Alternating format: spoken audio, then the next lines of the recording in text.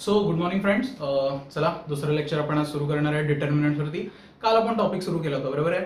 So बऱ्याच मुलांनी uh, homework जो दिला होता तो सगळ्यांनी पाठवलेला आहे. मॅक्सिमम मुलांनी पाठवलेला आहे. डाऊट सेशनच्या वेळी पण तुम्ही आला होता. चांगली गोष्ट आहे.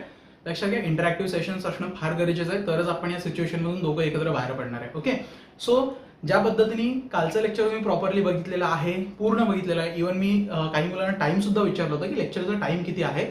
तर त्यावरती सुद्धा अगदी अॅक्युरेट म्हणजे सेकंदापर्यंत मुलांनी अॅक्युरेट सांगितले. Sir one hour six minutes and something fifty nine second इथपर्यंत सांगितलं होतं आनंद होतो की तुम्ही पूर्ण लेक्चर बघता याचा. ठीक आहे?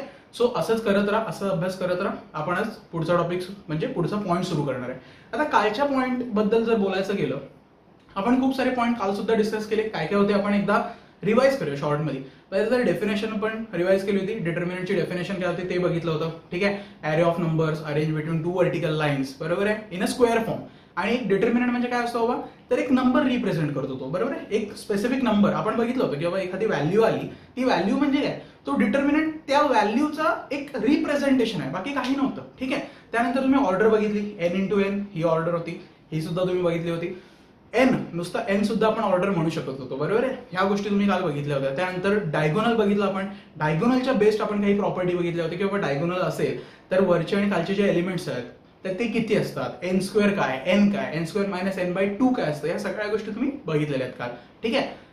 सो भरपूर पॉईंट्स आपल्याला कव्हर करायचे आहेत ऑब्व्हियसली काल जेवढे झाले ते आपण इंट्रोडक्टरी म्हणू शकतो. इंट्रोडक्शन ऑफ डिटर्मिनंट्स असं म्हणू शकतो. पण कालच्याच लेक्चरमध्ये मी तुम्हाला काहीतरी सांगितलं होतं की आपल्याला डिटर्मिनेट्स म्हणजे काय आहे? मॅक्सिमम फोकस कशावर आहे आपला? प्रॉपर्टी बेस्ड प्रॉब्लेम्स वरती असणार आहे. आता प्रॉपर्टी बेस्ड प्रॉब्लेम सोडायला प्रॉपर्टी आल्या पाहिजेत ना. सो त्या प्रॉपर्टी आज आपण बघणार आहे. ठीक आहे? त्याआधी फक्त एक इव्हॅल्युएशनवरचा एक मस्त एक छोटासा पॉईंट होता. इम्पॉर्टंट पॉईंट म्हणा असं. इम्पॉर्टंट पॉईंट आपण म्हणूया. काय होतं? इव्हॅल्युएशन जेव्हा आपण करतो एखादा डिटर्मिनंट मी लिहिला. काही काही घ्या आता मी ज्यावेळी ज्यावेळी तो एक्सपांड करतो ठीक आहे? ज्यावेळी मी तो एक्सपांड करतो. For example with respect to this मी ज्यावेळी एक्सपांड करेन मी काय करतो? याच्या रिलेटेड को फॅक्टर्स फाइंड करतो. बरोबर आहे? याच्या करस्पॉन्डिंग मी काय करतो? को फॅक्टर्स फाइंड करतो. आणि त्याला या एलिमेंट्सनी मल्टिप्लाय करतो. प्लस मायनस जे काही साईन असेल त्यांनी मी मल्टिप्लाय करतो. बरोबर आहे?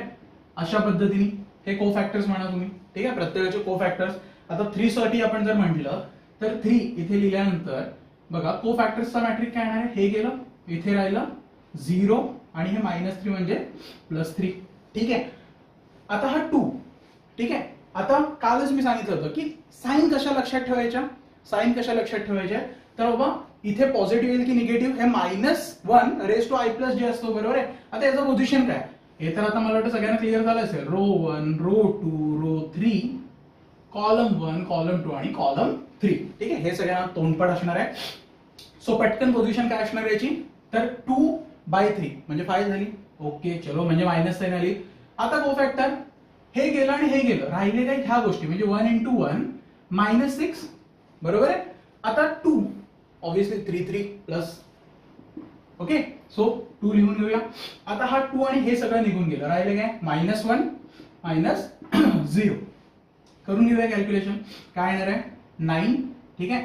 हे किती येणार आहे? मायनस फाय बरोबर आहे? Minus five into minus two plus ten ठीक आहे?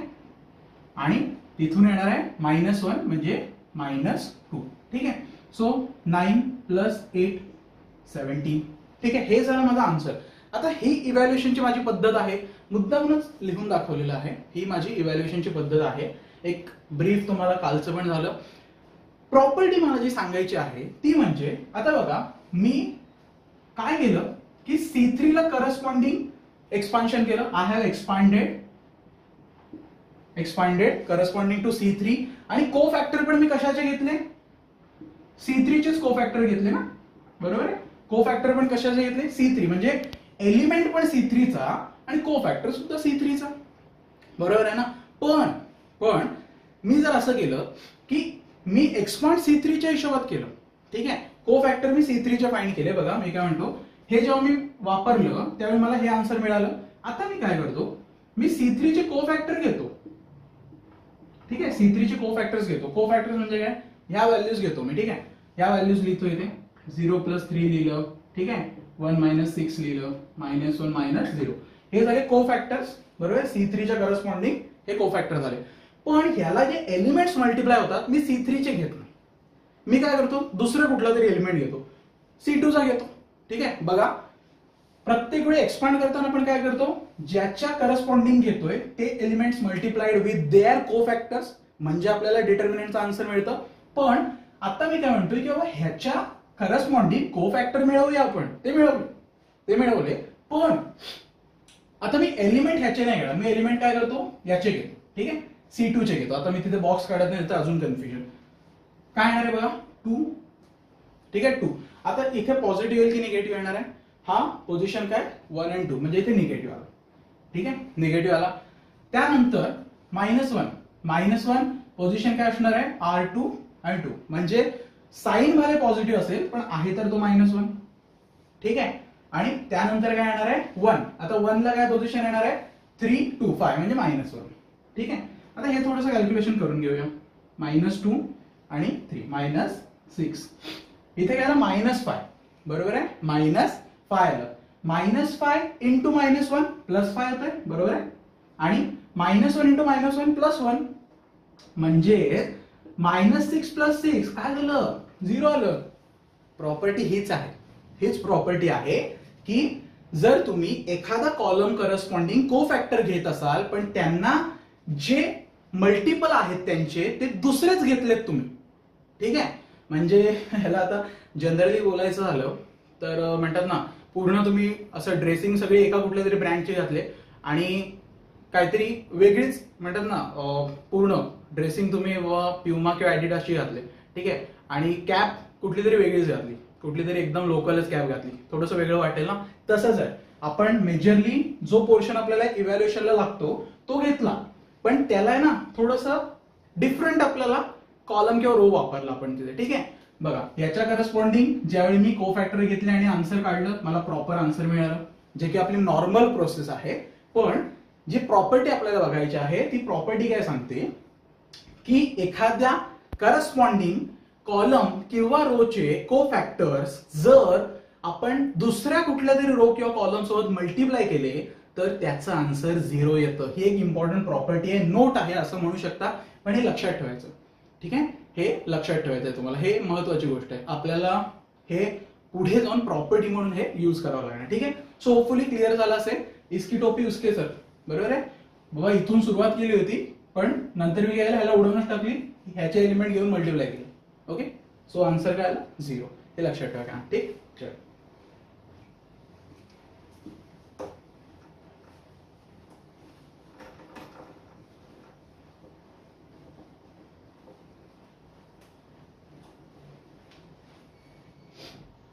आता बघा आता याच्यामध्येच मुलांचे डाऊट्स म्हणा किंवा मुलांचा असा एक विचार काय असतो ते सांगतो. मुलं काय म्हणतात सर आपण आहे ना को फॅक्टर बघा को फॅक्टर ना आपण कॉलमचे घेऊया आणि त्याला जो मल्टिप्लाय होणार आहे ना जो मल्टिप्लाय आहे तो रो घेऊया. ठीक आहे? जो मल्टिपल त्याचा असणार आहे तो आपण काय करूया रो घेऊया. मग झिरो येईल का? बघा डेफिनेशन काय सांगत होती मला? जर मी एखादा करस्पॉन्डिंग कॉलमचे को फॅक्टर्स घेतले आणि त्याला मल्टिपल मी दुसरा कॉलम वापरला तर माझा आन्सर झिरो येईल जर मी रो चे को फॅक्टर्स घेतले तर मी त्याला दुसरा रो मल्टिप्लाय केला तर आन्सर झिरो येईल. पण असं कुठेही मेन्शन नव्हतं की एक कॉलमचे को फॅक्टर घेतले आणि त्याला रोनी मल्टिप्लाय केलं तर आन्सर काय येईल? अशा वेळी तुमचा आन्सर ऑब्विसली झिरो येणार नाही आहे. You will not get zero आता टिपिकल केस अगदी टिपिकल केस कारण कसं आहे आपल्याकडे हुशार हुशार मुलं भरपूर आहेत. सो ते म्हणतात की सर झिरो येऊ शकतं आम्ही आणून दाखवतो. सो ते येणार कसं आहे ते पण मी सांगतो. जी टिपिकल केस असेल की ज्यावेळी एका कॉलमच्या को फॅक्टर्सला रोनी मल्टिप्लाय केलं आणि झिरो मिळालं तो डिटर्मिनंट असा असणार आहे. बस. ही एक केस तुम्हाला झिरो देऊ शकते बाकी नाही. ठीक आहे? सो ही गोष्ट एक लक्षात ठेवण्यासारखी आहे की बाबा आपल्याला को फॅक्टर कॉलमचे आहेत आणि त्याला दुसरा कॉलम मल्टिप्लाय केला ज्या कॉलम सोबत करस्पॉन्डिंग घेतलेला आहे तो सोडून. म्हणजेच सी वन जर घेतलेला आहे आणि त्याच्या को फॅक्टरला cofactors of C one multiplied by मी म्हणतो कॉलम टू तर माझा आन्सर झिरो येईल. ठीक आहे? जसं की रो वन चे मी को फॅक्टर घेतले cofactors of row one multiplied by elements of row two still I will get zero पण रो टू चे मी को फॅक्टर्स घेतले.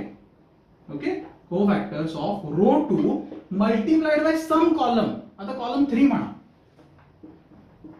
इज नॉट इक्वल टू ठीक आहे? Is not equal to zero हे समजून घेण्यासारखं आहे. हे समजून घेण्यासारखं आहे. हे इव्हॅल्युएशनचा पार्ट आहे. कालचा जो पार्ट होता त्यामधलं एक छोटस प्रॉपर्टी टाईप होतं म्हणून मुद्दा मी मागे ठेवलं होतं. पण आज बहुतेक तुम्हाला ही गोष्ट क्लिअर झालेली असेल ठीक आहे? सो हा एक पॉइंट होता. नोट म्हणून हे कन्सिडर करा तुम्ही. इम्पॉर्टंट होता.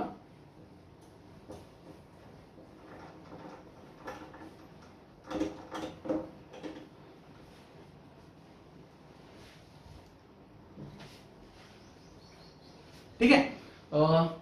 आता मेन पॉइंट वरती आपल्याला जायचं आहे मेन पॉइंट म्हणजे कुठला? प्रॉपर्टीज ऑफ डिटर्मिन ठीक आहे? पॉइंट काय असणार आपला?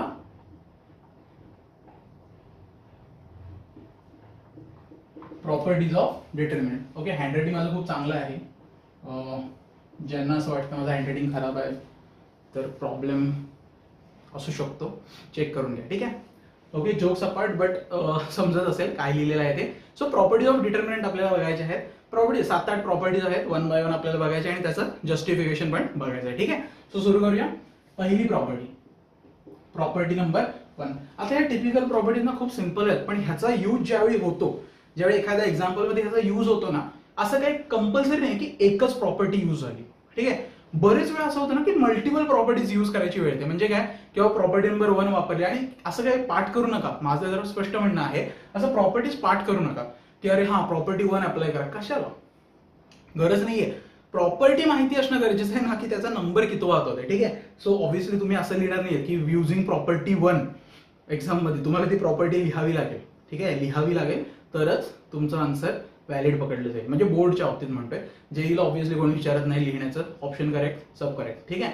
सो प्रॉपर्टी नंबर लक्षात ठेवू नका. नाही तर बरेच वेळा मुलं असं म्हणतात sir property number three apply करा. अरे कुठली थर्ड प्रॉपर्टी पहिली तिसरी गेली तर बदलते का? पहिली प्रॉपर्टी थर्ड प्रॉपर्टीवर टाकलं तर बदलणार आहे का? नाही बदलणार आहे. प्रॉपर्टी लक्षात ठेवा ना की नंबर ठीक आहे? सो प्रॉपर्टी नंबर वन काय सांगते? की if we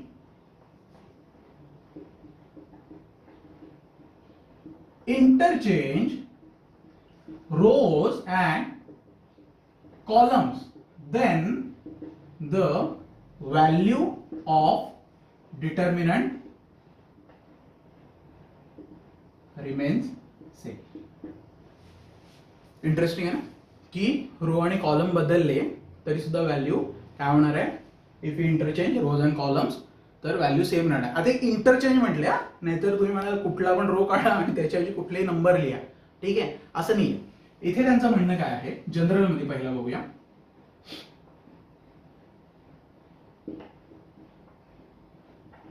त्यांचं म्हणणं काय आहे की हे रोज आहेत बरोबर आहे? आर वन आर टू आणि आर थ्री हे कॉलम्स आहेत. सी वन सी टू आणि सी थ्री ठीक आहे? याला मी जेव्हा इंटरचेंज करणार आहे याला ज्यावेळी मी इंटरचेंज करणार आहे म्हणजे काय? रोचा कॉलम करेन आणि कॉलमचा मी काय करणार? रो करणार आहे. म्हणजेच काय असणार आहे बघा? आता रोचा ज्यावेळी कॉलम होईल हा रो कॉलम वाईज ज्यावेळी मी लिहिणार आहे त्यावेळी एबीसी असा आला पाहिजे. ए बी आणि सी बघा काय झालं? आर चा काय झाला? सी वन झाला. बरोबर आहे? म्हणजेच काय झालं? रोज आणि कॉलम काय झाले? इंटरचेंज झाले. बघा सायमल्टेनियसली बघू शकता. पी क्यू आर रो आहे. असं आहे त्याला मला असं करायचंय. उभा करायचंय. पी क्यू आर ठीक आहे? पी क्यू बघा आर टू चा काय झाला? सी टू झाला. ठीक आहे? आता एक्स वाय झेड हा रो थ्री आहे. त्याला कॉलम करून टाकायचं हे झालं कॉलम थ्री आणि हा काय झाला? आता रो वन रो टू आणि रो थ्री याला म्हणतात इंटरचेंज ठीक आहे? याला म्हणतात interchange of rows and column आता हे केल्यानंतर हे केल्यानंतर व्हॅल्यू बदलत नाही असं प्रॉपर्टी सांगते. म्हणजेच काय आहे? हे सगळं सॉल्व्ह केल्यानंतर फॉर एक्झाम्पल जर आन्सर फोर येत आहे तर हे सॉल्व्ह केल्यानंतर सुद्धा हे सॉल्व्ह केल्यानंतर सुद्धा आन्सर फोरच आहे. बदलणार नाही. ठीक आहे? एलिमेंट बदललेले नाहीये. नाहीतर एच्या ऐवजी तुम्ही इथे काहीतरी वेगळंच लिहाल. सर ई e लिहा. ई ई ई लिहाय ते मजा येईल आन्सर बदलेल. ठीक आहे? ऑब्व्हियसली आपल्या मर्जीने आपण काही टाकू शकत नाहीये. आपल्याला इंटरचेंज करायचं फक्त. रोचा कॉलम आणि कॉलमचा रो ठीक आहे? सो याच्या ह्या प्रॉपर्टीने काय होतं? आन्सर बदलत नाही. आणि याची गरज लागते. याची गरज आपल्याला लागते. आता कसं ते एक्झाम्पलने व्हेरीफाय करून घेऊया पटकन. समजलं असेल होपफुली सो प्रॉपर्टी सोप्या आहेत रे खूप तुम्ही हा टॉपिक खूप एन्जॉय करू शकता. हाच नाही सगळेच टॉपिक एन्जॉय करू शकता. मनातली भीती काढा फक्त. ते कॉम्प्लेक्स नंबर म्हटल्यावर घाबर ओके आता टू बाय टू एकदम सिंपलपासून सुरू करूया. वन टू थ्री फोर हा सॉल्व्ह करून घेऊया. ठीक आहे? काय आहे? Four minus six minus two झाला. याला आपण जरा बदलून टाकूया. वन टू थ्री आणि फोर. ठीक आहे? काय झालं? फोर. आणि इथे काय झालं? मायनस सिक्स मायनस टू बघा रोज कॉलम झाले कॉलम रोज झाले. काय झालं? आन्सर बदललं नाही बदललं. ठीक आहे? हे इम्पॉर्टंट आहे दिस इज इम्पॉर्टंट हे कळलं की प्रॉपर्टी व्हेरीफाय झाली ऑब्विसली ठीक आहे? सो अशासाठी तुम्ही थ्री बाय थ्रीचा एक एक्झाम्पल घ्यायचा आहे ओके तुम्ही थ्री बाय थ्रीचा एक एक्झाम्पल घ्यायचा आहे आणि तुम्ही एक सोडवायचं आणि व्हेरीफाय करायचं आहे ठीक आहे? मी ते लिहून देणार एक्झाम्पल मीच लिहून देतो. तुम्ही व्हेरीफाय करायचं काम करा.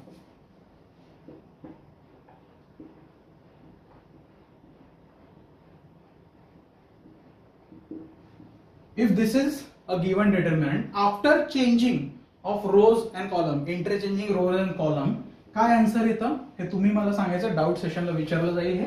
ठीक आहे? कसं इंटरचेंज होणार आहे हेही तुम्ही लिहायचं आणि याचंही आन्सर तुम्ही फाइंड करायचं. ठीक आहे? You to find both the answers and see that answer one is equal to answer two or not okay so रोचे कॉलम करा सोडवा. मला आन्सर याचा हवा आहे. ठीक आहे? सो लेक्चर बघून झाल्यानंतर पर्सनली पाठवलं तरी प्रॉब्लेम नाही पण हे व्हेरीफाय शंभर टक्के करून घ्यायचं ठीक आहे? हे शंभर टक्के व्हेरीफाय करून घ्यायचं आहे तुम्ही. सो फर्स्ट प्रॉपर्टी इझी एकदम. मस्त. चल.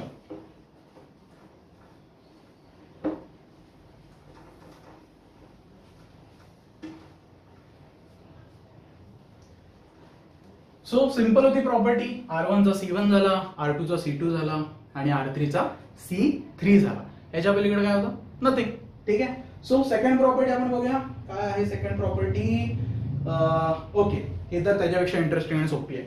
ठीक आहे? सेकंड प्रॉपर्टी काय सांगते? प्रॉपर्टी नंबर टू मला काय सांगते? इफ़ एनी ऑल असं म्हणूया if all elements of a row or column are zero.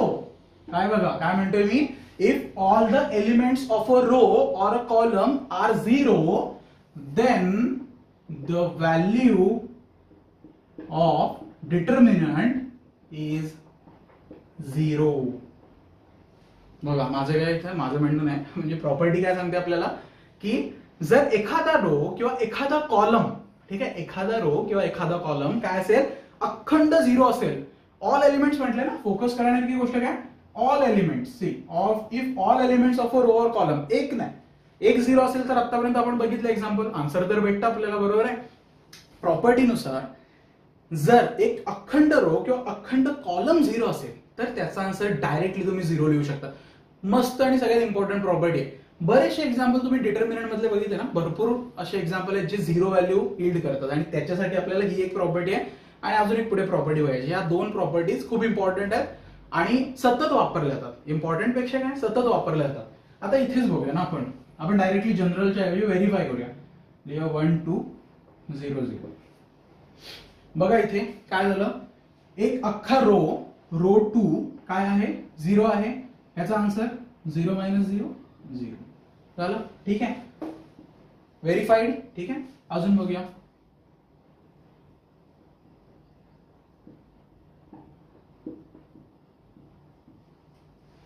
हा आता एक डिटर्मिनंट आपल्याला दिलेला आहे. आता हे सॉल्व आता तुम्हाला मी करून दाखवतो याची काही गरज नाहीये. ना if we expand along with any okay बघा हे झिरो इंटू करा तुम्ही. लिहायची काही गरज आहे. झिरो इंटू लिहिलं तर काय गरज नाहीये. आता हे one okay minus one into तुम्ही करा. काय होणार आहे? हे आणि हे गेलं. वन झिरो झिरो झिरो म्हणजे हे झिरोच झालं. इथे ऑब्व्हियसली इथे काही असो काय फरक पडतो? बाहेर झिरो आहे म्हटलं आतमध्ये काय आहे त्याचा फरकच नाही पडत आपल्याला. ठीक आहे? Plus six. आता सिक्स आणि हे गेलं म्हणजे फाय झिरो झिरो हे सगळं झिरो आहे.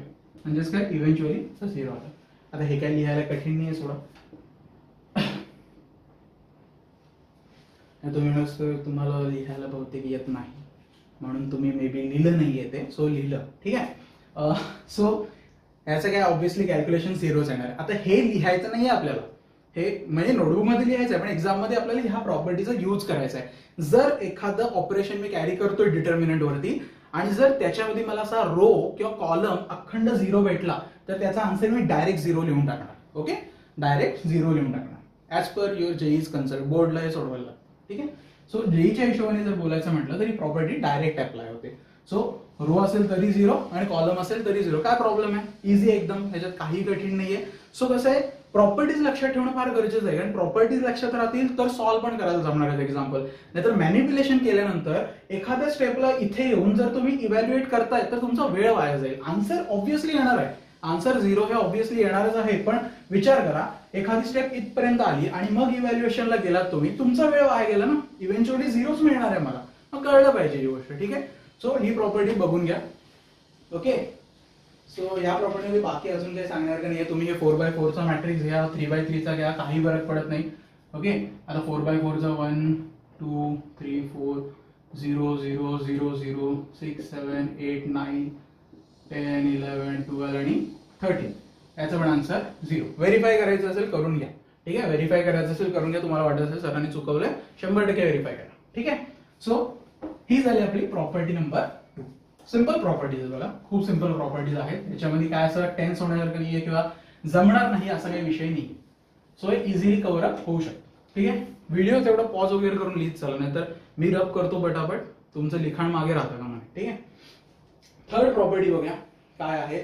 ओके थर्ड प्रॉपर्टी काय सांगते? की इफ प्रॉपर्टी नंबर थ्री काय आहे? If any two rows or columns of a determinant are identical are identical then the value of determinant is zero.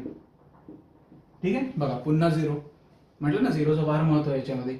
आता यांचं म्हणणं काय? आता प्रत्येक लक्षात घ्या मी जर कधी चुकून नुसतं फक्त रोज म्हटलं तर ते कॉलमला ऍप्लिकेबल आहे ऑपरेशन ओके जर रोजला एखादी गोष्ट ऍप्लिकेबल आहे शंभर टक्के ती कॉलमला सुद्धा ऍप्लिकेबल आहे. त्यामुळे असं म्हणू नका. अरे सर तुम्ही डेफिनेशनमध्ये ना फक्त रोज लिहिलं होतं किंवा सर तुम्ही कॉलम लिहिलं होतं मग ते रोजला मी कसं अप्लाय करू? असं नाहीये. ज्यावेळी मी म्हणतो ना some operation is applicable to rows hundred percent is it is applicable to column हे तुम्हाला कळलं पाहिजे ठीक आहे? सो इथे काय म्हणताय property three if any two rows or columns of a determinant are identical then the value of determinant is zero म्हणजेच काय आहे? थोडक्यात असं आहे. एबीसी एक्स वाय झेड आणि पुन्हा एबीसी ठीक आहे? असं असेल तर काय आहे? ह्याचं व्हॅल्यू ह्याची आन्सर डायरेक्टली झिरो तुम्ही लिहू शकता. व्हेरीफाय करून बघूया ना. व्हेरीफाय करूया आपण. आता ऑफिसली टू बाय टूचा घेऊया नको याच्यामध्ये कारण मजा नाही येणार मध्ये. ठीक आहे? वन टू थ्री इथे काय? टू थ्री मायनस वन आणि वन टू थ्री याला सोडवून बघा तुम्ही. ठीक आहे? याला सोडवून बघू शकता. नाईन प्लस टू ठीक आहे? हे मायनस टू प्लस झालं मायनस टू इंटू सिक्स हे झालं प्लस वन ठीक आहे? आणि इथे plus three into four minus three okay so eleven minus two हे सेवन म्हणजे फोर्टीन आणि इथे काय झालं? Four minus three one plus three म्हणजे eleven plus three fourteen minus fourteen is equal to zero simple as that आलं? Property is verified simple आहे बघा. दोन रो आणि दोन कॉलम जर असतील ना सेम तर ही गोष्ट आपल्याला इथे इझिली क्लिअर आउट होऊन जाते. की नक्की काय चाललेलं आहे इथे ठीक आहे? इथे नक्की एक्झॅक्टली आपण करतोय काय? तर हे एक्झाम्पल वरून पटकन व्हेरीफाय होतं किंवा लवकर व्हेरीफाय होतं. त्यामुळे प्रॉपर्टी काय आहे हे असं सुद्धा जनरली समजून घेणं गरजेचं आहे. आणि त्यासोबत त्याचं एक्सप्लेनेशन सुद्धा गरजेचं आहे. एखादा एक्झाम्पल तुम्ही स्वतः व्हेरीफाय करायचं. ठीक आहे? तुमचं काम काय असणार आहे? की लेक्चर चालले ठीक आहे. मी एका लेक्चरमध्ये जर याच्यावरती एक प्रॉब्लेम घेतलेला आहे तुमचं काम आहे तुम्ही त्याच्यावरती स्वतःहून एखादं तुमचा डिटर्मिनंट बनवा ना ज्यामध्ये दोन कॉलम किंवा दोन रो तुम्ही एक्झॅक्ट ठेवा. आता इथे काय होतं? रोज होते. मी एक एक्झाम्पल तुम्हाला देतो. ठीक आहे?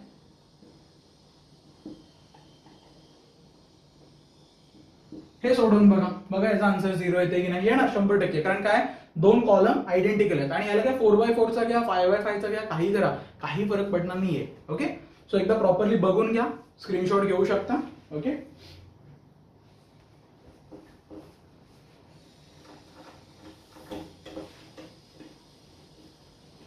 हे सोडवायचं आहे बाबा हे दिलेलं सोडवायचं आहे आतापर्यंत दोन झाले एक्झाम्पल शिकवतानाच देऊन झालेले आहेत. सो ह्याची मला अपेक्षा आहे की तुम्ही हे सोडवणार आहात. ओके आता नेक्स्ट बघूया. प्रॉपर्टी नंबर फोर काय म्हणते? We can take a common factor from any row or column we can take common factor from any row or column आता कॉमन फॅक्टर काढायचं म्हणजेच काय? की आपण एखादा जर मल्टिपल असेल एखादी व्हॅल्यू टू फोर एट आहे तर टू आहे ना? तो टू आपण कॉमन काढू शकतो ठीक आहे? वर्क कसं होणार आहे? ते एकदा बघून घेऊया. टू फोर एट आहे. इथे three one zero one three seven okay आता इथे बघताना तुम्ही बघा इथून तर बाबा काय मला सध्या मल्टिपल दिसत नाही पण त्यातून पण काढू शकतो मी. सध्या इथे फोकस करूया. इथे काय टू आहे ना मी काय करू शकतो? टेकिंग इथे लिहावं लागतं फक्त. Two common from R one कारण ऑब्व्हियसली हा माझा रो वन आहे सो मी कॉमन घेतला. सो टू आणि इथे काय येणार आहे? वन टू आणि फोर ठीक आहे? बघा इथे मल्टिप्लाय थ्री वन आणि झिरो आणि हे जेव्हा करतो तेव्हा बाकीचे रो किंवा कॉलम अजिबात इफेक्ट होत नाहीत. हे महत्वाचं आहे बघा. ज्यावेळी मी कॉमन फॅक्टर काढलेला आहे बाकीचा कुठलाही रो किंवा कुठलाही कॉलम इफेक्ट होत नाही अजिबात याच्यामध्ये. हे समजून घेणारी गोष्ट आहे आपल्याला ठीक आहे? आता याच्यामध्ये सुद्धा इंटरेस्टिंग काय आहे? की मी फक्त इंटिजर्स बाहेर घेऊ शकतो ठीक आहे? इंटिजर बाहेर घेऊ शकतो. मग इथे बाबा मला काढता येत नाही एखादा नंबर पण मला रो टू किंवा बाबा रो थ्री म्हणे आपण चला. रो थ्री मधून मला थ्री कॉमन काढायचंच आहे. ऍट एनी कॉस्ट मला रो थ्री मधून थ्री कॉमनच काढायचं आहे. तर मी काय करणार? ठीक आहे? काय बिंदास लिहा थ्री हे आहे तसं लिहा. टू फोर एट ऑब्व्हियसली याच्यानंतरची स्टेप न लिहिताय इथून डायरेक्टली मी काय म्हणतोय? थ्री रो थ्री मधून थ्री कॉमन काढलंय मी. थ्री वन आणि झिरो आता इथे वन आहे. थ्री नाही आहे ना? सो काय करा? बिंदास वन बाय थ्री लिहून टाका. इथे काय थ्री आहे म्हटल्यावर वन लिहा आणि इथे सेवन बाय थ्री लिहा. झालं. Three is taken out from row three तुम्हाला फक्त मेन्शन करावं लागेल. थ्री कॉमन घेतलेलं आहे फ्रॉम रो थ्री हे मेन्शन करावं लागेल. ठीक आहे? सो असं काही कंपल्शन नाही की फक्त मल्टिपल्सच दिसले म्हणजेच मी बाहेर काढू शकतो असं काही अजिबात कंपल्शन नाहीये. बिंदास तुम्ही जिथून गरज आहे तिथून काढू शकता. असं काही प्रॉब्लेम नाहीये. काढा इंटिजरच काढा असं काही विषय नाहीये. तुम्ही इझिली तुम्हाला जशी रिक्वायरमेंट असेल तुम्ही बाहेर घेऊ शकता गोष्टी ठीक आहे? सो ही गोष्ट एक थोडीशी लक्षात ठेवण्यासारखी आहे. सो तुम्ही रोज मधून काढा कॉलम्स मधून काढा सेमच आहे. काय फरक पडत नाही. मी तुम्हाला आधीही म्हटलं प्रत्येक वेळी रो आणि कॉलमला ऍप्लिकेशन जर एखादा ऍप्लिकेशन रो साठी आहे तर ते कॉलमसाठी पण ऍप्लिकेबल शंभर टक्के असणारच आहे. ठीक आहे? चलो नेक्स्ट बघूया.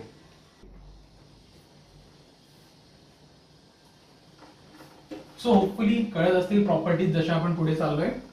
सिंपल आहे. खूप सिंपल आहेत. ओके? सो आता प्रॉपर्टी नंबर मला वाटतं आपण फोर बघितली. आता ना प्रॉपर्टी पुढच्या बघण्याच्या आधी ना थोडंसं मला एक अजून एक्सप्लेन करायचं आहे ते म्हणजे रायटिंगचं की आपण शॉर्टमध्ये आता बघा तुम्ही डिटर्मिनंट आपण घेतोय पण लिखाण काम भरपूर होतं ना प्रत्येक वेळेस लिहायचं म्हटलं की सो ते एक्सप्लेनेशनला पण जास्त होऊन जातं बरेच वेळेला लिहायला. सो ह्याचं ह्याला असंही लिहू शकतो बघा. आर वन आर टू आणि आर थ्री किंवा सी वन सी टू आणि सी थ्री या पद्धतीने आपण डिनोट करू शकतो. कसं डिनोट करू शकतो?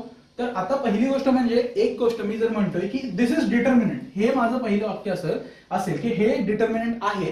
तर शंभर टक्के शंभर टक्के हे जर तीन रोज आहेत तर ह्याच्यात तीन कॉलम असणारच आहेत. म्हणजे इव्हेंच्युअली काय झालं?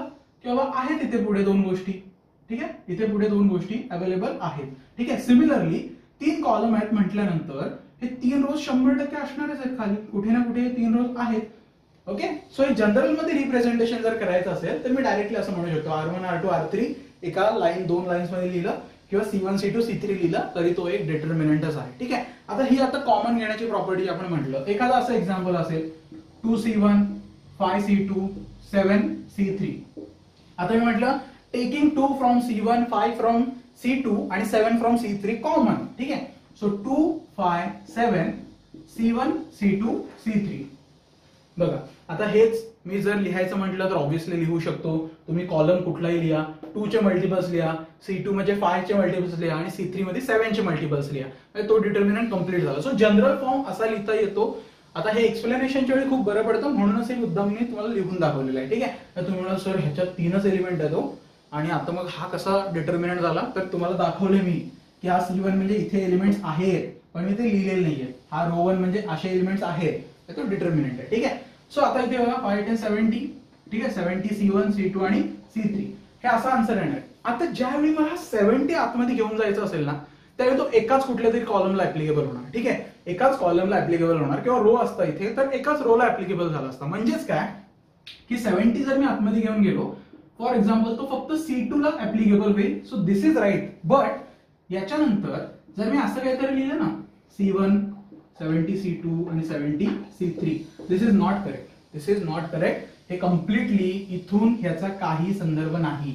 लक्षात घ्या हे तुम्हाला कळलं पाहिजे ओके सो हे एक मेजर गोष्ट आहे जी तुम्ही लक्षात घेतली पाहिजे की कसं ह्या गोष्टी डील होतात. की तुम्ही ज्यावेळी कॉमन घेतलं तेव्हा कॉलम वन मधून टू कॉमन घेतला इथून फाय सेव्हन घेतला. टोटल केलीत तुम्ही. आणि असं म्हटलं की या सेव्हन्टीला मी तिघांना पण वाटून देतो तर ते चुकीचं आहे. तुम्ही एका कोणाला तरी देऊ शकता ही गोष्ट. तुम्ही एका कुठल्या तरी कॉलमला किंवा रो असते तर रोला देऊ शकला असता. ठीक आहे? सो ही गोष्ट समजून घ्या. सिमिलरली सिमिलरली आता मागचं एक्झाम्पल बघा. मागचं एक्झाम्पल म्हणजे मगाशी आपण आयडेंटिकलची प्रॉपर्टी बघितली होती. ठीक आहे? आयडेंटिकल रो आणि कॉलमची प्रॉपर्टी बघितली होती. त्यावेळी आपण काय म्हटलं? बाबा रे दोन रो किंवा दोन कॉलम आयडेंटिकल असतील तर आन्सर झिरो होतं. मग जर असं असेल example one two and two three ठीक आहे? आता मुलं म्हणतात सर रो वन आणि C one.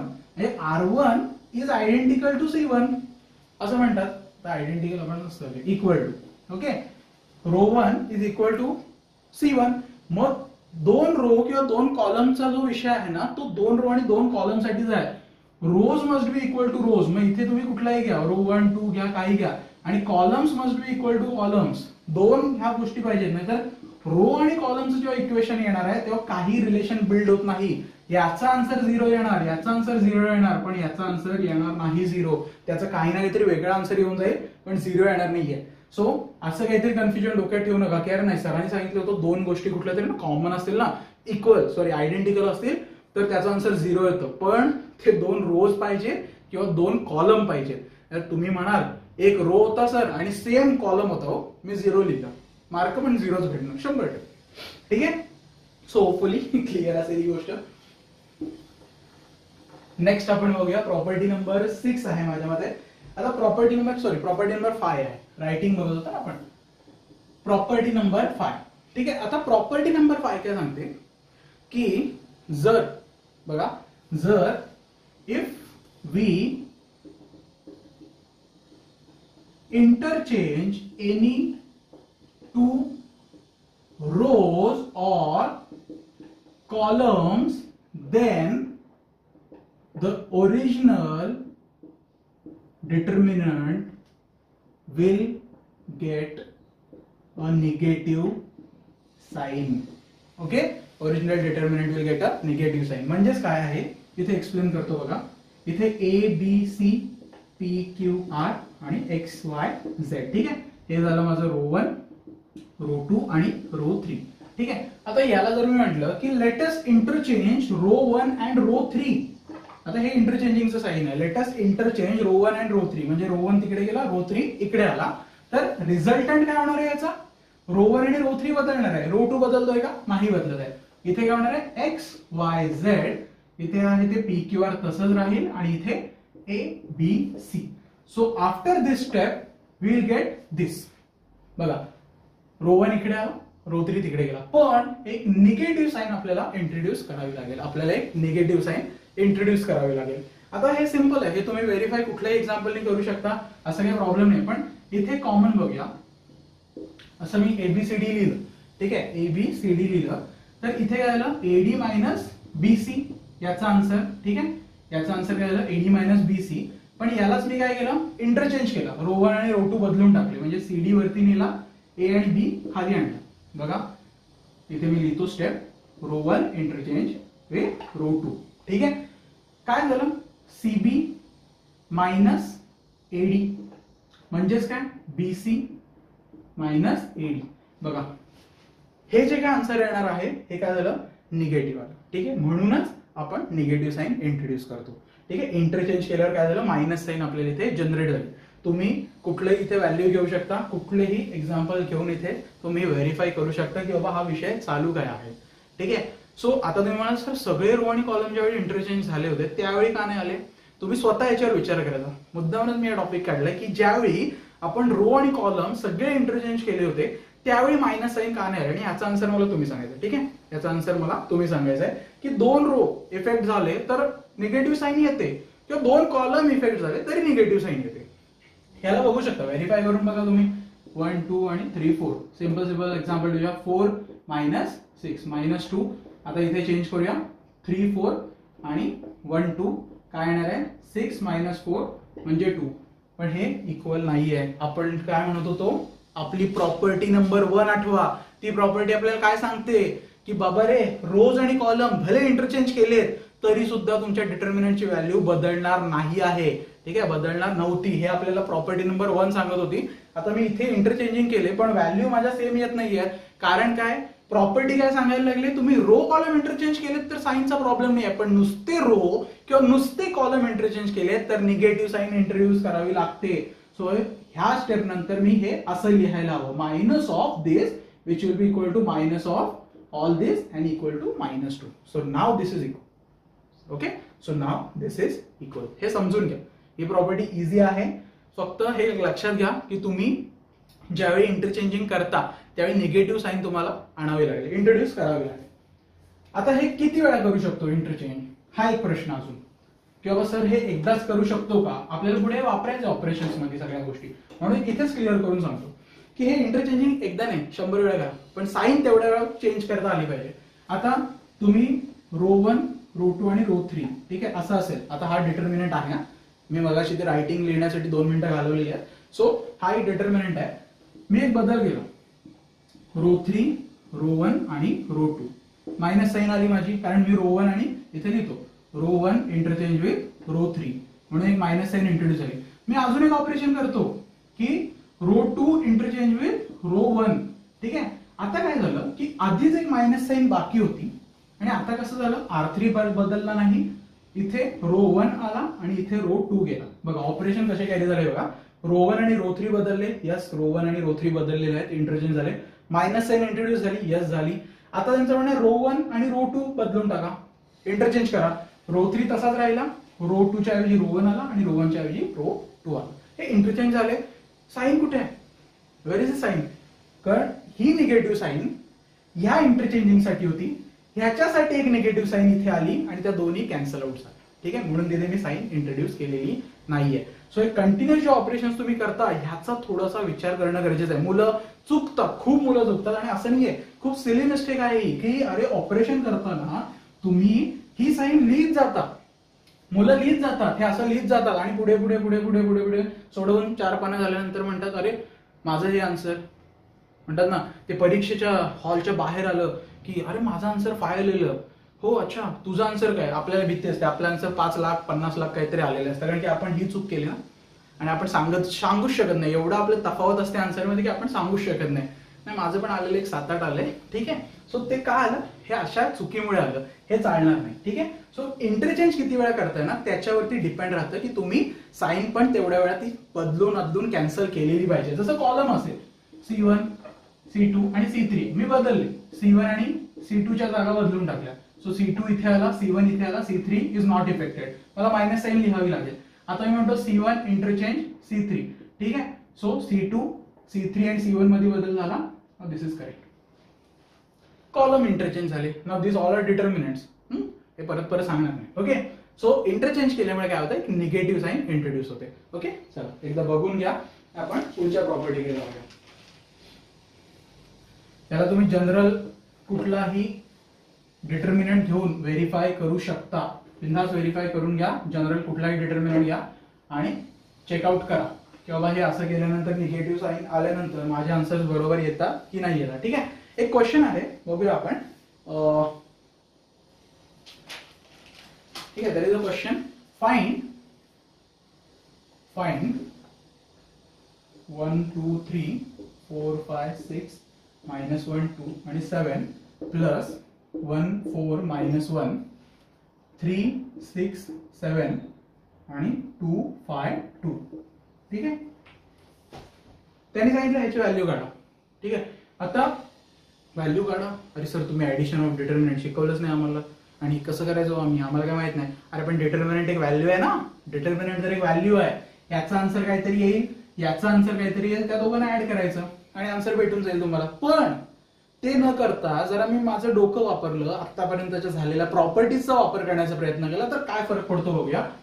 One two three तुम्हाला इथे कुठेतरी दिसतंय काय रे? इथे कुठेतरी तुम्हाला दिसतंय? वन टू थ्री दिसणार आहे. किंवा वन टू आणि थ्री आहे पण थोडस वरती खाली झालं ना आदला बदली झालेली आहे. मग मी काय करतो की पहिली गोष्ट म्हणजे ही गोष्ट मला कॉलमच्या स्वरूपात दिसते. काय दिसते रोज माझे कॉलममध्ये ट्रान्सफॉर्म झाल्यासारखे दिसत आहेत इथे. मग मी हा डिटर्मिनंटमध्ये पहिला रो आणि कॉलम इंटरचेंज करतो. काय करतो? रोचे कॉलम करून टाकतो. So one two three four five six minus one two आणि सेवन ठीक आहे? हे प्लस आहे तसं लिहून घेऊया. One three two four six five minus one seven आणि टू आता रोचे कॉलम केल्यानंतर मला थोडं असं सिमिलर वाटायला लागलं. अरे हा वन टू थ्री आहे. इकडे पण वन टू थ्री आहे. पण शफल्ड मी काय करतो? वन तर माझ्या आहे त्या रिलेटिव्ह पोझिशनला आहे. टू आणि थ्री बदलतो. म्हणजेच काय मी केलं? Row two interchange with row three असं करून टाकलं. So one four minus one इथे थ्री सिक्स सेवन आणि टू फाय टू ठीक आहे? Plus one four minus one three six seven two five two हे लिहिल्यानंतर ज्या मुलांनी पॉइंट आउट केलं असेल सर तुम्ही रोज इंटरचेंज केलेले आहेत मायनस साईन द्या त्यांच्यासाठी गुड कारण तुम्ही प्रॉपर गेस केलेलं. मुद्दामच लिहायची ठेवली होती. पण ज्या मुलांनी हे लिहिल्यानंतर ज्यावेळी मी या स्टेपला आलो आणि मनात जरी तुमच्या विचार आला अरे सरांनी निगेटिव्ह साईन दिली नाही म्हणजे तुम्ही लेसन पकडलेला आहे. विषय संपला तुम्ही बिंदास या लेसनचे सगळे प्रॉब्लेम सोडवू शकता जर एवढं तुमचं कीन लक्ष असेल तर. ठीक आहे? मी प्रॉपर्टी वापरली ना? रोज इंटरचेंज केले म्हटल्यावर एक निगेटिव्ह साईन इंट्रोड्यूस केली पाहिजे. आता सिंपल गोष्ट आहे. हे आणि हे सेम आहे. म्हणजे ह्याचा आन्सर आणि याचा आन्सर जे काय येणार आहे. फॉर एक्झाम्पल याचा आन्सर आलं टेन याचा आन्सर आलं टेन पण हा टेन निगेटिव्ह आहे हा टेन पॉझिटिव्ह आहे. म्हणजे फायनल आन्सर झालं माझं झिरो ओके सो ह्याच्यावरून डायरेक्टली झिरो सांगता आलं पाहिजे. ह्याच्यासाठी आपले प्रयत्न चालणार आहेत. ठीक आहे? हे महत्वाचं आहे. हे सगळ्यांनी डोक्यात फिट करायचं आहे. आपल्याला इथूनच झिरो सांगता आलं पाहिजे. आपल्याला दिसला पाहिजे अरे हा वन टू थ्री इथे वन टू थ्रीच्या स्वरूपात दिसतोय. पण थोडा बदललेला आहे. चलो काहीतरी ऑपरेशन करूया. आन्सर काढून टाकूया. नाहीतर ऍज युजल मी जे सांगितलं होतं की जर सगळेच क्वेश्चन अटेम्प्ट करायचे नाहीयेत तर आपण बघितलेलं एपीजीपी मध्ये मिसिंग नंबर काय करणार होता तुम्ही? सगळे लिहून काढणार होतात. बरोबर आहे? मग इथे पण काय? याला इंडिव्हिज्युअली सॉल्व्ह करा याला इंडिव्हिज्युअली सॉल्व्ह करा याचा आन्सर याचा आन्सर प्लस करा आणि आन्सर सांगा. पण त्याचा उपयोग नाही. मग काय ते शिकवून उपयोग काय? प्रॉपर्टी शिकण्यात मजाच नाही ना मग? सो याचा आन्सर तुमचा झिरो येणार. ठीक आहे? एकदा व्यवस्थित बघून घ्या. ओके अजून प्रॉब्लेम आहेत का याच्यावरती? ठीक आहे? सो सिंपल होता सिम्पलिस्टिक प्रॉब्लेम आहे काय हरकत नाही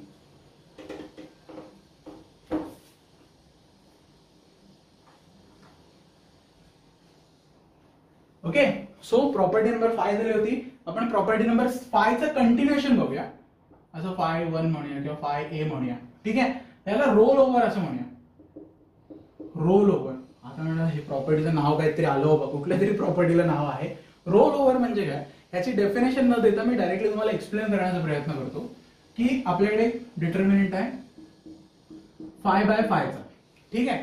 आणि मी काय म्हणतो की आतापर्यंत आपण जे इंटरचेंज करत होतो ते दोघांमध्ये करत होतो. बरोबर आहे? सी वन सी टू बदलूया सी टू सी थ्री बदलूया किंवा सी वन सी फोर बदलूया. दोघा दोघांमध्येच चाललं होतं. रो बदलूया दोन रो बदलूया. म्हणजे इंटरचेंजिंगची प्रॉपर्टी दोघांवरतीच लागू होत होती. साहजिक आहे? पण मला असं म्हणायचं आहे जर मला हा अख्खा अख्खा सेगमेंटच शिफ्ट करायचा असेल तर हे शिफ्टिंग म्हणजे काय? दिस इज रोल ओव्हर ठीक आहे? म्हणजेच काय?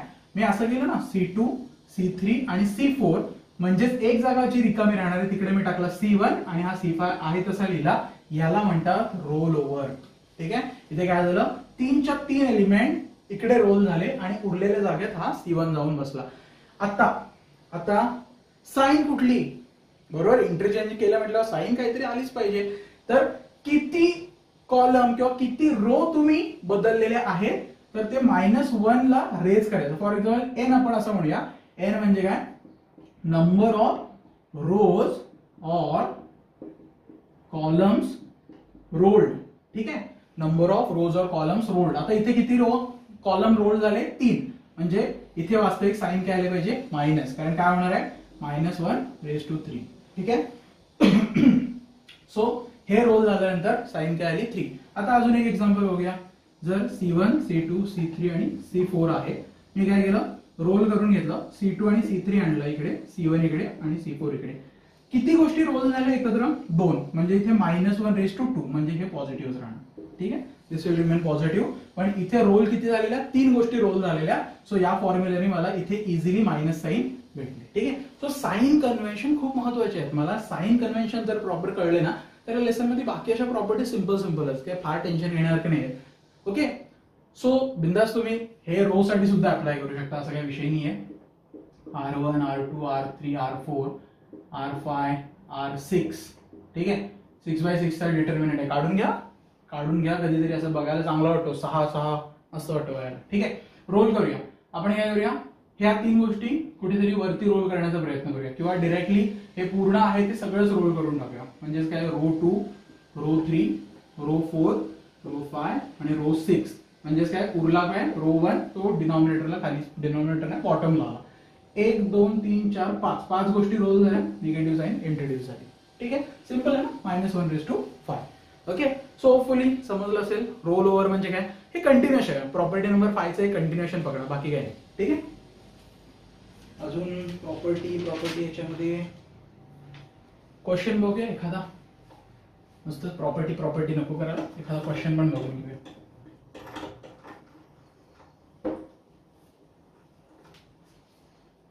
ठीक आहे? क्वेश्चन बघा काय आहे? Can a two by two determinant be equal to three by three determinant okay question काय आहे? Can a two by two determinant be equal to three by three determinant आता एक मिनिट व्हिडिओ पॉज करायचा आहे आणि तुमचा तुम्ही विचार करायचा याच्यावरती की ह्याचा आन्सर काय येणार? मी ऑब्व्हियसली आन्सर देणारच आहे त्यासाठी उभा आहे मी इथे. पण आता इथे बघा आपण काय म्हटलं होतं की बाबा डिटर्मिनंट आपल्याला आहे. ऑपरेशन त्याच्यावरचे आपण अजून बघितलेलं नाही आपण इव्हॅल्युएशन बघितलेलं आहे. पण मी एक जनरली क्वेश्चन विचारतोय की आतापर्यंत झालेल्याच्या संदर्भावरती हा क्वेश्चन आहे की टू बाय टूचा डिटर्मिनंट हा थ्री बाय थ्रीला इक्वल असेल का रे? तर आन्सर आहे येस सो जेवढ्या लोकांचं आन्सर येस होतं you have got the concept very correctly yes का? तर अरे टू बाय टू चा डिटर्मिनंट म्हणजे एक व्हॅल्यूज देणार आहे ना मला. एक व्हॅल्यू भेटणार आहे मला. आणि मग थ्री बाय थ्रीचा एक डिटर्मिनंट आहे. तो सुद्धा मला एक व्हॅल्यूज देणार आहे. ऑब्व्हियसली मी आधीच पहिल्याच लेक्चरला म्हटलं determinant corresponds to a value म्हणजे ह्याला जर टू बाय टूच्या याला आन्सर फोर आलं तर थ्री बाय थ्रीच्या याला पण आन्सर फोर येऊ शकतं ना? म्हणजे ह्या दोन गोष्टी इक्वल होऊ शकतात. ठीक आहे? आता एक्झाम्पल नाही मी दिलेलं पण ही गोष्ट तुम्ही क्लिअर आउट करू शकता. ओके आता एक्झाम्पल द्यायचंच म्हटलं तर तुम्ही लिहून घ्या example one three five four ठीक आहे? आणि एक दुसरं एक डिटर्मिनंट घ्या. इथे वन घ्या. इकडे झिरो झिरो लिहूया. हे वन थ्री फाय आणि फोर इथे तुम्ही काही लिहा. एक लक्षात ही एक छोटी ट्रिक आहे की याचा आन्सर आहे ना हे इकडे दोन झिरो लिहून हे लिहायचं इथे. इथे वन लिहायचा. आणि इथे जे काही असेल ते तुम्ही काही लिहा. इथे म्हणजे काही लिहिलं ना हंड्रेड लिहिलं तिथे nine nine raise to ninety nine असं जरी लिहिलं फरक नाही पडत. कारण काय या झिरोमुळे ना ह्याच्यावरती इफेक्ट पडणार नाही. सगळं झिरो होऊन जाईल. इफेक्ट पडेल तो फक्त वनचा वन इंटू काय होईल? वन थ्री फाय आणि फोर म्हणजेच काय? इव्हेंच्युअली हेच हे काय आहे? वन थ्री फाय फोर म्हणजे हे आणि हे सेमच आहे तर आन्सर तर काढून घ्या. काय फरक नाही पडत. फोर मायनस फिफ्टीन म्हणजे मायनस इलेवन इथे पण तेच होणार आहे. Four minus fifteen minus eleven okay so two by two determinant can be equal to three by three is always नाही सांगता येत नाही माहीत नाही. चेक करावं लागेल. पण two by two three by थ्रीला equal असू शकतो. हे समजून घ्या. Okay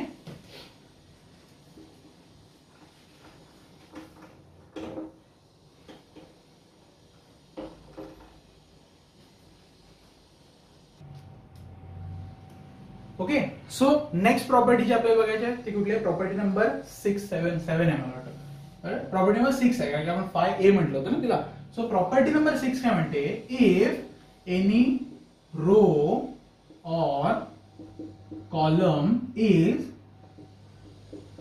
multiple of other row or column then value of determinant will be zero ठीक आहे? Then value of determinant will be zero म्हणजे काय? की एक रो किंवा एक कॉलम दुसऱ्या रो किंवा कॉलमचा एक मल्टिपल असेल तर आपण काय म्हणू शकतो? त्याची व्हॅल्यू झिरो आहे. ऑब्व्हियसली असणार आहे. बघूया आपण कसं.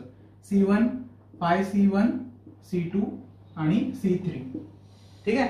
आता इथे जर बघितलं आता फाय सी वन म्हणजे काय? की मल्टिपल आहे ना? सो मी काय करू शकतो? फाय कॉमन घेतला.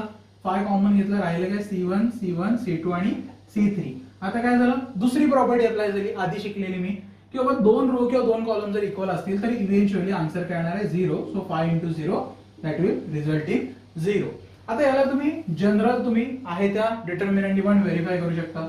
असं काढूया. वन टू थ्री इथे थ्री सिक्स नाईन ठीक आहे? आणि इथे सेवन वन आणि फोर आता इथे बघितलं तर रो वन आणि रो टू काय आहे? रो टू हा मल्टिपल आहे रो वनचा किती? थ्रीनी जर मी थ्री कॉमन काढला इथून इथून जर मी थ्री कॉमन काढला taking three from row two तर काय होणार आहे? वन टू थ्री आहे तसं राहिलं. ठीक आहे? वन टू थ्री राहिलं. इथे वन थ्री टू आणि थ्री ठीक आहे? So seven one four so three common काढला. म्हणजे काय? की हा जर एखादा जर फॅक्टर आहे जसं मी इथं म्हटलं की फाय सी वन का लिहिलं तुम्ही म्हणा सर इथे सी टू काय नाही लिहिलं? तर तिथे हिशोबाने सी टूच आहे. पण काय आहे? हा सी चा मल्टिपल आहे. जसं हा row one row row two row वनचा multiple आहे. सो मी काय केलं कॉमन काढलं. आता माझी प्रॉपर्टी अप्लाय झाली. That row one and row two are equal okay they are identical so definitely त्या डिटर्मिनंटची व्हॅल्यू किती येणार आहे? झिरो सो इव्हेंच्युअली व्हॅल्यू काय असणार आहे. झिरो असणार आहे. सो व्हेरीफाय तुम्ही अजून करू शकता. हवे तेवढे एक्झाम्पल घ्या. हे सोडवा. मगाशी पण आपण सोडवलं होतं. पण कसं मल्टिपल असेल तरी सुद्धा त्याचा आन्सर झिरोच येतो. हे सांगण्याचा माझा प्रयत्न होता. सो होपफुली क्लिअर होत असतील गोष्टी. कसं आहे फार काही टफ नाही आहे लक्षात फार अजिबात काही टफ नाही आहे तुम्ही प्रॉपरली जर लक्ष दिलं तर ऑब्व्हियसली तुम्हाला या सगळ्या गोष्टी क्लिअरली जमणार आहेत. ठीक आहे? नेक्स्ट बघूया. ठीक आहे? नेक्स्ट प्रॉपर्टी आपण बघून घेऊया. काय आहे? प्रॉपर्टी नंबर सेवन ठीक आहे? Property number seven okay property number seven काय सांगते? A determinant can be broken down okay a determinant a determinant can be broken down into two determinants corresponding corresponding to any row or column okay म्हणजेच काय की एक determinant दोन मध्ये break केला जाऊ शकतो विथ रिस्पेक्ट टू किंवा corresponding corresponding with respect to म्हणूया चला. With respect to any row or column ठीक आहे म्हणजेच काय आहे एक एक्झाम्पल बघूया अल्फा प्लस बीटा ठीक आहे असं लिहा किंवा X plus Y P plus R आणि इथे लिहा A B okay C D E आणि एफ आता हा जो डिटर्मिनंट आहे हा बघताना मला कसं वाटतं अरे इथे काहीतरी वेगळेच टर्म आहेत आणि इथे सिंगल सिंगल टर्म आहेत ज्या माझ्या ऑब्व्हियसली असणारच आहेत. सो याच्यामध्ये याच्यामध्ये मी काय चेंज करू शकतो? किंवा ह्याला मी ब्रेकडाऊन कसा करू शकतो? हे सोडवण्या सोडवायला तर पाहिजे. सो कॉम्प्लिकेटेड नको हो व्हायला म्हणून मी काय करू शकतो? ह्याला ब्रेकडाऊन करू शकतो दोन डिटर्मिनंट्समध्ये. आता पहिला डिटर्मिनंट बघा. मी काय घेतो? फर्स्ट टर्म अल्फा एक्स आणि पी ठीक आहे? हे घेतलं. आता ज्यावेळी ह्याला ब्रेक करणार आहे मी याच्या रिस्पेक्टमध्ये ब्रेक करणार आहे. बघा याच्या रिस्पेक्टमध्ये ज्यावेळी ब्रेक करणार आहे त्यावेळी ह्या बाकीच्या गोष्टी अनअफेक्टेड राहतात. They will remain unaffected so आहेत तशा लिहायच्या okay so A C E तिथे झालं बी डी आणि एफ ठीक आहे? प्लस आता काय झालं? प्लस प्लस अल्फा एक्स आणि पी वापरून झालं. उरलेले बीटा वाय आणि आर सो बीटा वाय आणि आर ओके सो कॅपिटल लिहितो नंतर गॅमा वाटेल. आर ऑब्विसली ब्रेकडाऊन केलेलं आहे. अनअफेक्टेड राहणार आहे. ठीक आहे? So this will be A P S C D E आणि F so a determinant can be broken down into two determinant with respect to any row or column ना with respect to column one I have broken down the or broken down determinant into different determinant ठीक आहे so ही property important आहे. आपल्याला पुढे जाऊन पण use करायला लागते किंवा सोपी पडते यूज करायला. कसं आहे? इथे ज्यावेळी तुम्ही काहीतरी मल्टी लेवल करणार आहात ना कुठेतरी क्वाड्रॅटिक क्युबिंगमध्ये जाणार तुम्ही तो प्रॉब्लेमॅटिक विषय होऊ शकतो. म्हणून काय आहे? किंवा ह्या दोन गोष्टी मला सोप्या आहेत ना. हे सिंगल सिंगल दिसतात. ह्याचा आन्सर येईल प्लस समथिंग ह्याचा आन्सर येईल. माझा फायनल आन्सर मिळून जाईल मला इथे. हे मला इम्पॉर्टंट आहे. हे जास्त इम्पॉर्टंट आहे. कारण काय आहे? हे सोडवण्यापेक्षा मला हे सोडवणं नक्कीच कधी पण बेनिफिशियल असणार आहे. ओके सो सोपी आहे. बघून घ्या. आता याच्यामध्ये पण एक गंमत आहे. ती पण आपण बघून घेऊया. की हे प्रत्येक वेळी असंच करतात का? ब्रेक हे प्रत्येक वेळी असं कंपल्सरी आहे का सर की बाबा ह्यांना असं डिस्ट्रीब्यूट करायचं? असं काही नाही कंपल्शन असा अजिबात कंपल्शन नाही. मी आता इथे बघा असं लिहितो. अल्फा प्लस बीटा इथे एक्स इथे P A B C D E आणि एफ मग आता दुसरा डिटर्मिनंट काय येणार? इथे जर अल्फा प्लस बीटा मी ब्रेकडाऊन न करता अख्खा लिहिला काय नाही झिरो लिहून टाकायचा. बिंदास. ए बी हे आता इथे काय येणार वाय आर इथे सी डी ई आणि एफ ओके अदरवाईज अदरवाईज असं पण ब्रेकडाऊन होईल. इथे झिरो लिहिला. ए बी इथे इथे पण झिरो लिहिला. सी डी इथे पी ई e आणि एफ प्लस ठीक आहे? आता अल्फा प्लस बीटा इकडे लिहिला. त्यानंतर एक्स प्लस वाय इकडे लिहिला. कारण मी इथे झिरो मेन्शन केलेला आहे सो एक्स प्लस वाय मला लिहावं लागेल. टी झाला म्हटल्यावर राहिला आर आणि हे तर आहे A B C D E आणि एफ सो या पद्धतीने सुद्धा ब्रेकडाऊन होऊ शकतं. तुम्ही प्रत्येक वेळी इंडिव्हिज्युअली ब्रेकडाऊन करा असं काही म्हणणं नाहीये. तुम्ही प्रॉपरली तुम्हाला गरज जशी असेल त्या पद्धतीने ते वापरू शकता. जेव्हा प्रॉब्लेममध्ये गरज लागेल त्या पद्धतीने तुम्ही वापरू शकता. ठीक आहे? सो अशा पद्धतीने पण चालेल असं पण चालेल किंवा ह्या आधी दाखवलेलं ते पण चालेल काही प्रॉब्लेम नाही आहे तुम्हाला ज्या गरज आहे demand of the problem is very important to apply any property अजून याच्यामध्ये सांगतो बघा. ह्याच्यात अजून काय होऊ शकतं हेही सांगतो.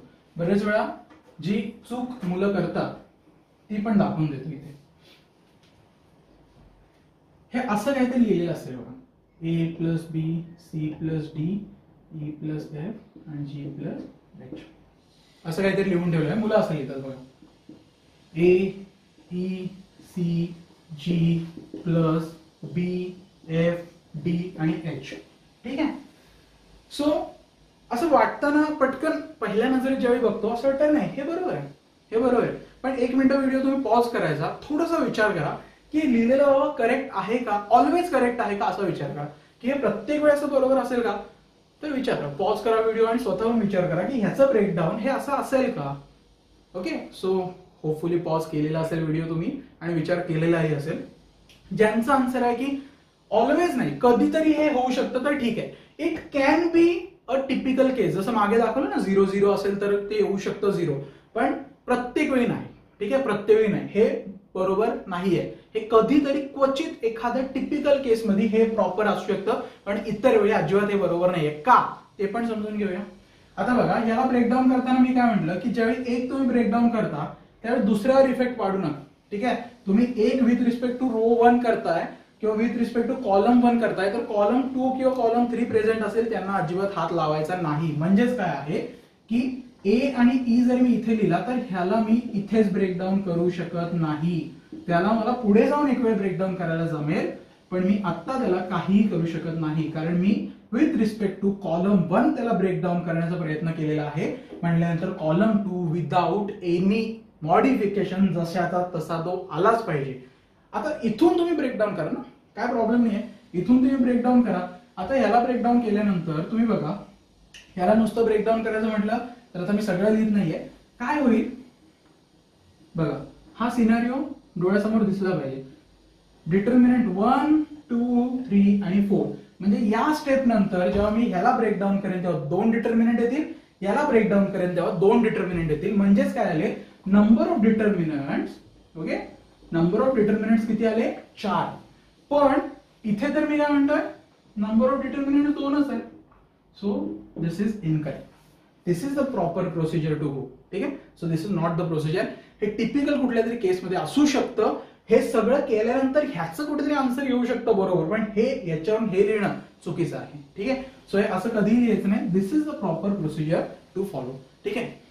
सो बघा सिंपल गोष्ट होती. तेव्हा हे दिसताना मी म्हटलं ना की सर हे बरोबर आहे. सर याच्यात काय प्रॉब्लेम आहे? दिसतंय ना चांगलं भलं दिसतंय बरोबर वाटतंय. कशाला तुम्ही काहीतरी सांगताय? पण नाही तसं चालणार नाही आपल्याला. ठीक आहे? तसं अजिबात चालणार नाहीये. आपल्याला ह्या टाईपनेच ब्रेकडाऊन करायचं कारण प्रॉपर्टी आपल्याला काय सांगते? A determinant can be broken down into two determinant with respect to any row or column any rows or columns नाही म्हटलेला एनी रो ऑर कॉलम म्हटलेलं आहे. ठीक आहे? सो होपफुली कळलं असेल तुम्हाला प्रॉपर्टीज ओके सो चला. प्रॉपर्टीज कळणं फार गरजेचं आहे. Properties understanding is very important जेवढ्या प्रॉपर्टी झालेल्या आहेत प्रॉपरली स्टडी करायच्या you have to study each and every property properly या जेवढ्या प्रॉपर्टीज आहेत तुमच्या नोटबुकमध्ये असल्या पाहिजेत. जे दोन एक्झाम्पल दिले होते व्हेरीफाय करा. ते झालेलेच पाहिजेत आणि ऑब्विसली तुम्हाला जर वाटलं की मला अजून काही एक्झाम्पल्स घेऊन व्हेरिफिकेशन करायचे. करा ना. वही तुमची आहे वेळ तुमचा आहे. तुम्ही युटिलाइज करा चांगला व्यवस्थित युटिलाइज करा. टाइमला पण हे झालंच पाहिजे. शंभर टक्के ही गोष्ट झालीच पाहिजे. ठीक आहे? सो या प्रॉपर्टीज मी उद्याच्या डाऊट सेशनमध्ये कोणालाही कुठलीही प्रॉपर्टी विचारेन आणि ती सांगता आली पाहिजे. आणि थोडंसं पेन आणि पेन्सिल काय असेल ते आणि वही घेऊन बसायचं आहे डाऊट सेशनला नुसते डाऊट विचारायचे नाही तर मी सुद्धा तुम्हाला डाऊट विचारणार आहे. आणि त्याचे आन्सर्स तुम्हाला आलेच पाहिजे. लक्षात घ्या सो हे सगळे प्रॉपर्टीज आहेत ते प्रॉपर घ्यायचे. मॉड्यूलमध्ये जे तुमचे एक्झरसाइज आहे प्रॉपर्टीज वरती बेस ती सोडवायची आहे आज आणि त्याचे आन्सर सुद्धा पाठवायचे. ठीक आहे? सो लक्षात घ्या. हे एक इम्पॉर्टंट पार्ट होता प्रॉपर्टीचा ह्याचे ऍप्लिकेशन वगैरे जे आहेत ते आपण उद्याच्या लेक्चरमध्ये बघूया. आजपुरती एवढ्या प्रॉपर्टीज भरपूर झाल्या ह्या व्यवस्थित करून घ्या. Each and every property important आहे. कारण ज्यावेळी ऍप्लिकेशन करायला जाऊ ह्याचा वापर करायला कुठेतरी जाऊ त्यावेळी तुम्हाला ह्या सगळ्या तोंडपाठ असणं किंवा लक्षात असणं फार गरजेचं आहे. ओके सो जी मुलं डाऊट सेशन्सला येतात आज आणि आज आली होती तर सर्वांनी उद्याही यायचं आहे कंपल्सरी तुम्ही. आणि जी मुलं येत नाही आहेत त्यांनी सुद्धा जॉईन व्हा. ऑब्व्हियसली तुम्ही अभ्यास करता की नाही मला हे समजणं तिथे गरजेचं आहे. इंटरॅक्शन होणं फार गरजेचं आहे. ठीक आहे? सो आजचे एक्झाम्पल्स जे होमवर्क म्हणून दिले होते काल सॉरी कालचे एक्झाम्पल जे काही होमवर्क म्हणून दिले होते त्याचे पण आन्सर्स बऱ्यापैकी मुलांनी पाठवलेले आहेत. नाही असं नाही पण अजून काही मुलं मागे आहेत तर त्यांनी मागे राहण्याची गरज नाही खास करून माझा ए थ्रीचा वर्ग. तुमच्याकडून रिस्पॉन्स जेवढा हवे तेवढा अजिबात येत नाहीये. ए टू मधून चांगला रिस्पॉन्स आहे. पण तुम्ही सुद्धा इम्प्रूव्ह केलंच पाहिजे ठीक आहे? सो जे काही शिकवलं ते प्रॉपर लेक्चर बघा तुमचे नोट्स कंप्लीट असले पाहिजेत. रॅन्डमली मी कोणाकडूनही कधीही नोट्स मागेन आणि मला त्या इनकम्प्लीट दिसल्या तर पालकांना फोन करून तुमचं काय असेल नसेल ते घरात तुमची आरती ओवाळली जाईल आणि त्याचे जबाबदार तुम्ही असाल ठीक आहे? आणि ते सहन केलं जाणार नाही अजिबात. सिरियसली घ्या वारंवार सांगतोय बारावी आहे. सिरियसली घ्या ठीक आहे? सो चलो will end our lecture here भेटूया उद्याच्या लेक्चरमध्ये डाऊट सेशनमध्ये तोपर्यंत थँक्यू